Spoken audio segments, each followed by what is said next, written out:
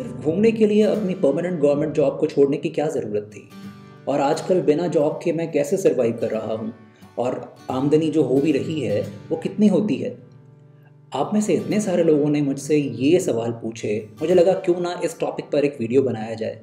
और साथ ही आपको ये भी बताऊँ कि इतने साल तक जॉब करते हुए मैं कैसे इतना ज़्यादा घूम पाता था? कैसे मुझे घर से परमिशंस मिल जाती थी? कैसे ऑफ़िस से परमिशंस मिल जाती थी? तो आज का ये वीडियो इसी टॉपिक पर।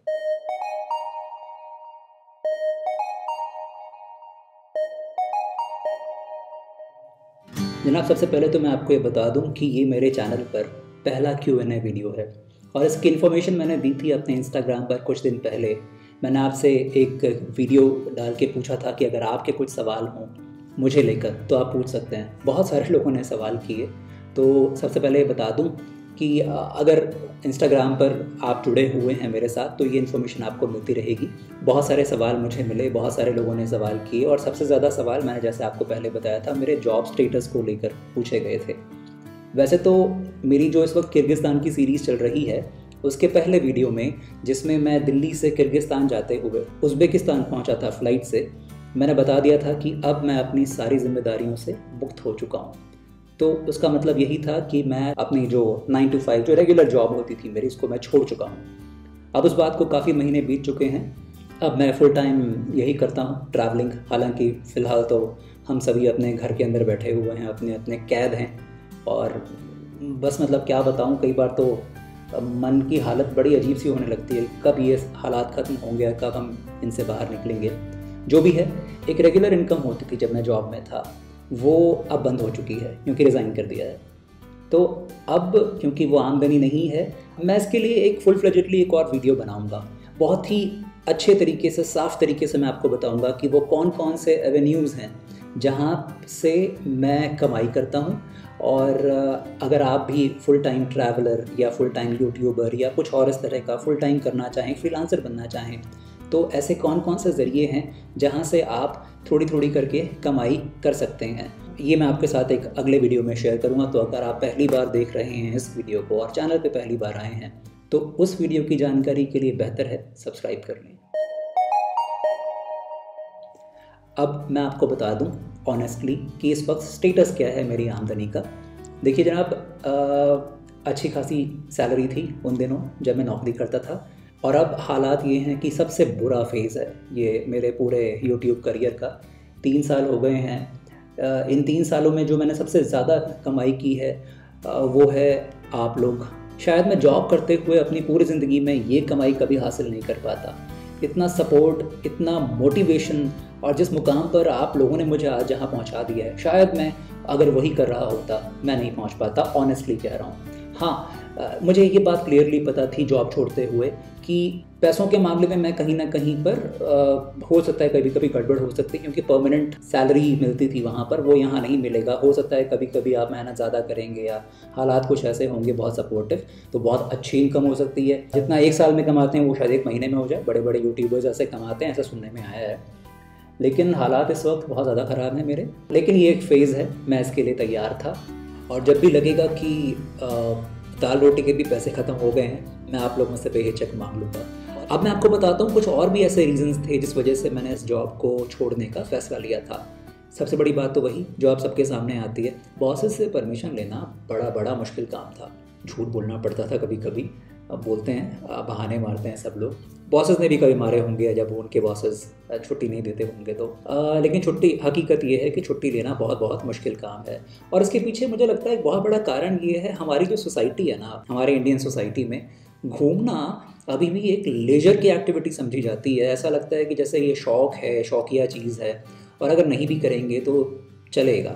जबकि एक बात अभी आप जानते हैं कहते हैं ना कि हज़ार किताबों को पढ़ने के बराबर होती है एक यात्रा। तो जितना मैंने ट्रैवलिंग करते हुए सीखा, जितना मुझे महसूस हुआ कि मेरी पर्सनल लाइफ एक इंडिविजुअल के तौर पे जो चेंज जो ट्रांसफॉर्मेशन मुझे ट्रैवलिंग ने करके दिया, वो शायद मैं कभी नहीं कर पाता। ये अचीवमेंट मुझे कभी हासिल नहीं हो पाता। अब इस चीज़ को अगर रियलाइज़ हमारी सोसाइटी करे, और ऐसा नहीं है कि हमारी सोसाइटी हमारे प्राचीन सिस्टम में जो इंडियन सिस्टम था, उसमें घूमने का जो इम्पोर्टेंस थी घूमने की, वो बहुत ज़्यादा थी। लोग समझते थे अब पता नहीं क्यों, कहाँ ख़राब हो गया, कहाँ खो गया है वो सब कुछ। वेस्टर्न सोसाइटीज़ में अभी भी ट्वेल्थ के बाद में बच्चे बाहर निकल जाते हैं। पेरेंट्स समझते हैं इस बात को। वो सारी की सारी चीज़ें हमारे यहाँ पर नहीं होने की वजह से लगता है कि घूमने के लिए क्या छुट्टी देना। और अभी तो गया ही था दो महीने पहले, फिर से घूमने के लिए छुट्टी मांग रहा है। बस इस वजह से मुझे लगा कि यहाँ थोड़ा सा गड़बड़ है। अब चलना चाहिए। और मैंने धीरे धीरे ये स्टेप लिया। मैं आपको बताता हूँ किस तरीके से। शुरुआत में तो मैंने यूट्यूब वीडियोस बनाने शुरू किए थे, थाईलैंड, मलेशिया, रशिया, ये सारी सीरीज़ वो थी। जब मैंने तीन चार दिन की छुट्टी ली, या बीच में ऐसी छुट्टी ज्वाइन करी, मैं आपको तरीका बताऊँगा कि कम से कम छुट्टियों में ज़्यादा से ज़्यादा ट्रैवल किया। इस वीडियो के आगे वाले हिस्से में आपके साथ शेयर करूँगा। तो उस वक्त तो मैं यही करता रहा। धीरे धीरे लगा कि ये ट्रैवलिंग थोड़ा और ज़्यादा करनी चाहिए। फिर एक वो फ़ेज़ आया, जब सोचा कि चलो अब सैलरी नहीं लूँगा विदाउट गेटिंग पेड यानी जो अनपेड लीव्स होती हैं अब मुझे सैलरी नहीं चाहिए बस छुट्टी मिल जाए किसी तरीके से। लेकिन वापस आने के बाद फिर से वही सारे सिलसिले शुरू हो गए। छुट्टी लेना बहुत मुश्किल होता था। आ, सोचा कि चलो अब छोड़ ही देते हैं। और अब तक क्या था कि दुनिया में घूमते हुए कई ऐसे लोगों के साथ में बातचीत हो चुकी थी, ऐसे लोगों से मुलाकात हो चुकी थी, जिनके लिए, जिनका घूमने का तरीका ही ऐसा था जिसमें बहुत ज़्यादा पैसों की ज़रूरत होती नहीं थी। उनका लाइफस्टाइल कुछ ऐसा बन गया था जहाँ पर पैसा बहुत ज़्यादा इंपॉर्टेंट नहीं रखता है। इन लोगों ने मुझे बहुत इंस्पायर किया। अब मुझे लगा कि मुझे भी कुछ ऐसा ही करना चाहिए और मैंने किया। फाइनली जॉब क्विट कर दी। एक सबसे बड़ी चीज़ थी, मुझे एक ज़िम्मेदारी का एहसास हुआ इन तीन सालों में। जब मैंने देखा कि लाखों लोग मुझे देखते हैं और आप में से बहुत सारे लोग जब मुझे कमेंट्स में ये कहते हैं कि आप मुझे फॉलो करते हैं तो मुझे लगता है कि एक भी इंसान अगर मुझे फॉलो करता है तो मेरी उसके लिए एक ज़िम्मेदारी है। और यहाँ एक नहीं है, लाखों लोग हैं तो ये ज़िम्मेदारी बहुत बड़ी है। मैंने शुरुआत में ही यूट्यूब चैनल को शुरू करने के पीछे जो मेरा ऑब्जेक्टिव था, वो ये था, मैं देखता था अपने कंट्री में ट्रैवल करते हुए 2016-17 तक तो मैंने अपनी कंट्री में खूब ट्रैवल किया, यानी 16-17 साल 2000 से मैं ट्रैवलिंग कर रहा हूँ एक्सटेंसिव ट्रैवलिंग इंडिया में। तो इन 16-17 सालों में घूमते हुए मैं ऐसे ऐसे फॉरेनर से मिला जो सिर्फ़ एक बैग लटका के पूरा का पूरा देश एक्सप्लोर कर रहे हैं, पूरी दुनिया एक्सप्लोर कर रहे हैं।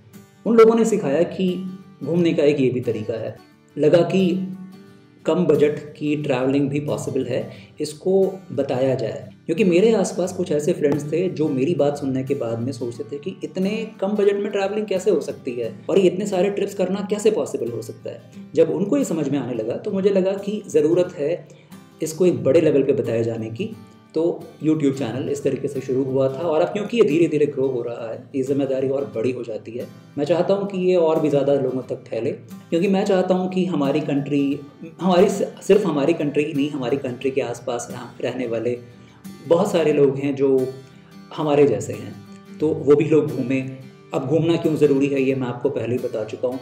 काश इस दुनिया में हम सबके सब घूम रहे होते तो आपसी जो डिफरेंसेस हैं ना, हमारे आपस के बीच में जो इनसिक्योरिटीज़ हैं, ये कम हो जाती। आज दुनिया वैसी नहीं होती जैसी आज हो चुकी है। खैर, अभी भी हम ज़्यादा से ज़्यादा घूमना शुरू कर दें तो दुनिया अच्छी हो सकती है। और इसके लिए ही मैंने सोचा कि अब मैं घूमता हूँ और ऐसे लोगों से मिलूँगा और अच्छे अच्छे वीडियोज़ बनाऊँगा। लोग शायद और मोटिवेट होंगे वह दुनिया अच्छी बनेगी। अब इसका मतलब ये कतई नहीं है कि हर घूमने की इच्छा रखने वाले व्यक्ति को अपना जॉब छोड़ देना चाहिए।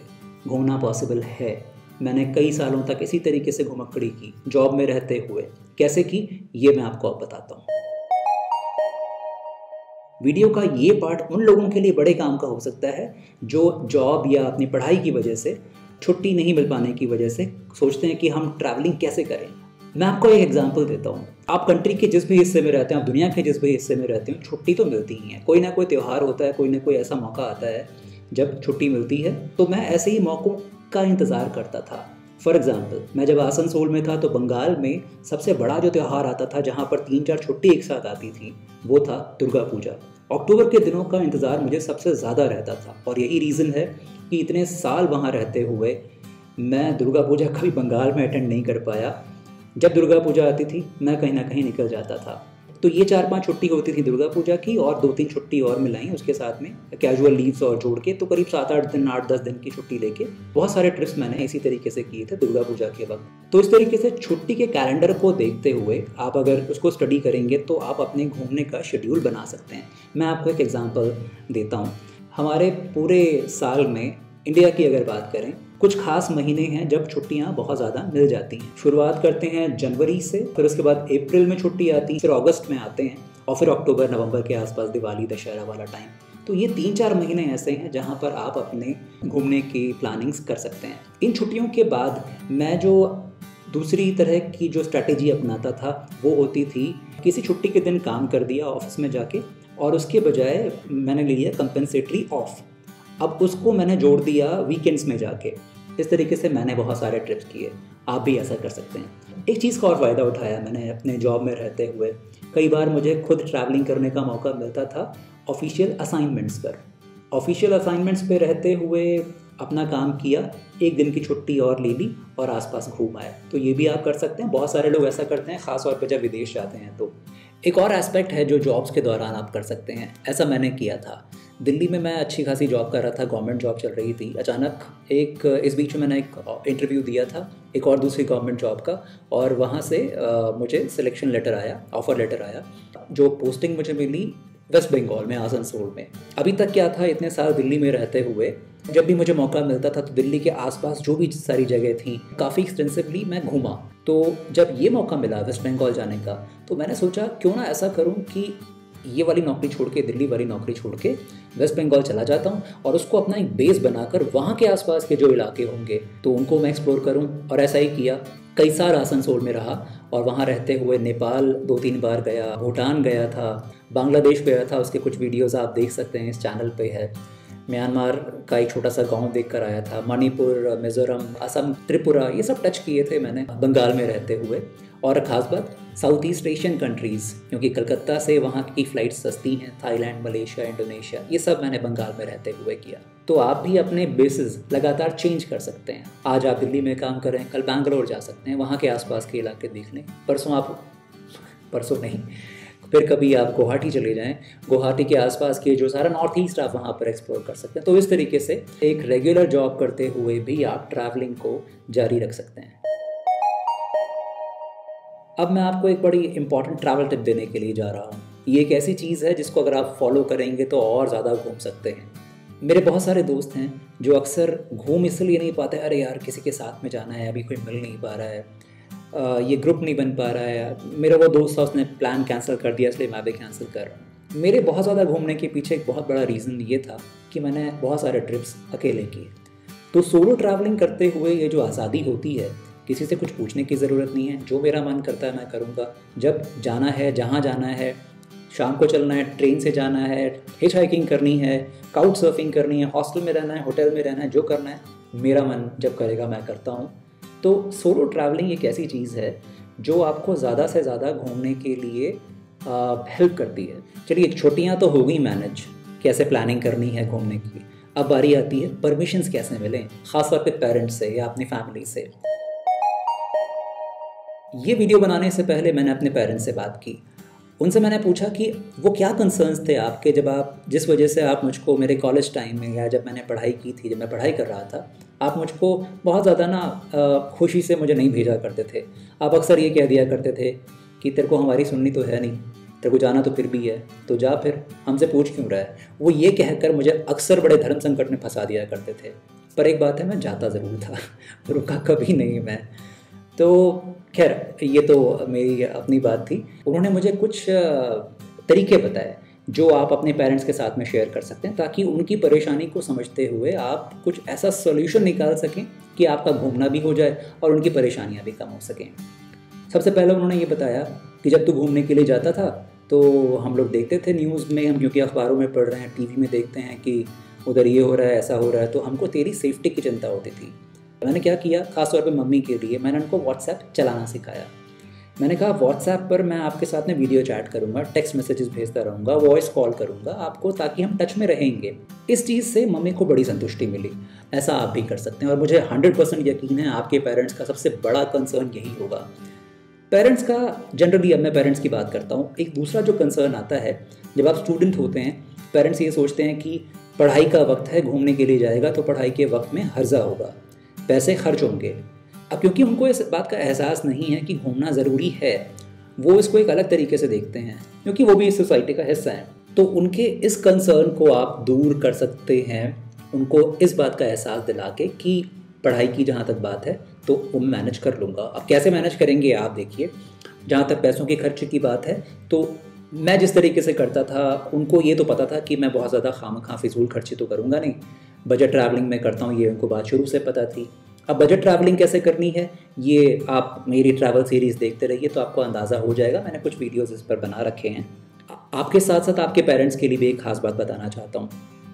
मेरे पापा ने ना एक बहुत अच्छी बात कही थी, वो ये थी कि जब हम जहाज़ बनाते हैं तो उसको उड़ने के लिए बनाया जाता है, ना कि उसको हम लोग खड़ा रखने के लिए बनाते हैं, उसको हम पाक करके ही रखें। तो बच्चे वो जहाज़ हैं तो उनको उड़ने के लिए हमें मौके देने चाहिए। ना कि हम उनको अपने घर में रखें या उनको हम डिस्करेज करें घूमने के लिए। तो इसलिए अगर आप कुछ ये स्टेप्स फॉलो करेंगे जो मैं बताने वाला हूँ तो आपके जो कंसर्न्स हैं अपने बच्चों को लेकर, वो दूर हो सकेंगे। सबसे पहले स्कूल टाइम या कॉलेज टाइम में जो पिकनिक्स या एक्सकर्शंस होते हैं, उनमें आप बच्चों को जाने दें। ये वो मौके होते हैं जब पहली बार वो अपने पेरेंट्स से अलग हटकर अपने स्कूल के दोस्तों के साथ, अपने टीचर्स के साथ में निकलते हैं। दुनिया को एक अलग तरीके से देखते हैं और बहुत कुछ सीखने का मौका मिलता है। इसके बाद जब बच्चे स्कूल से बाहर निकल जाते हैं तो उनको आप थोड़ा कहीं आसपास जाने के लिए ट्रेन से, बस से उनको सोलो ट्रैवलिंग करने दें।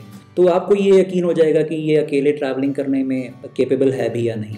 कुछ ऐसी ऑर्गेनाइजेशंस हैं जो कुछ ऐसे एडवेंचर ट्रिप्स कराती हैं, जो बहुत ही सेफ़ हैं, बहुत सिक्योर हैं और अगर आप अपने बच्चों को उसमें भेजते हैं तो आपको उनकी जो सेफ्टी वाली जो चिंता है, कम से कम उसके लिए परेशान होने की ज़रूरत नहीं होगी। उनमें से एक नाम है Youth Hostel Association of India Youth Hostel के जो ट्रिप्स हैं ऑल ओवर इंडिया होते हैं।